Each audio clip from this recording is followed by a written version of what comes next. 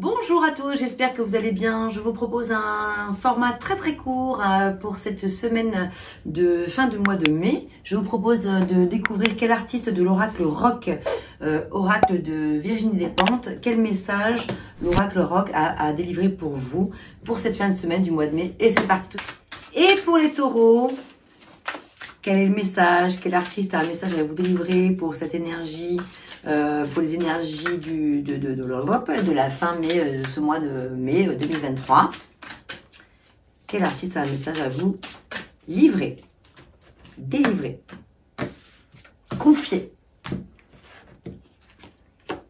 Yeah Jim Morrison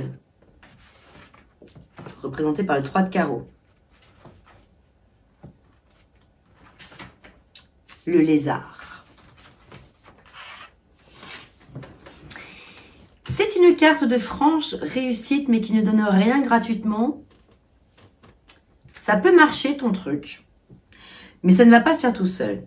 On a tout en nous le rêve d'aller se coucher défoncé, de se réveiller le lendemain en ayant accouché d'un grand chef-d'œuvre tandis qu'on dormait ou en ayant appris une langue étrangère ou les lois du cosmos, quelque chose de grandiose qui viendrait sans effort. Mais plus longtemps, tu resteras vautré sur ton sofa à soliloquer pour tes projets se gonfleront d'ambition, de mégalomanie, de ressentiment pour tous ceux qui t'entourent et plus ils deviendront difficiles à réaliser. Bon, ne confonds pas perfectionnisme et exigence avec d'excellentes justifications pour ne rien dire du tout. Cesse de comparer ce que tu fais avec ce qui a déjà été fait. Tu n'es probablement pas la nouvelle prophétesse ni une déesse de la mythologie.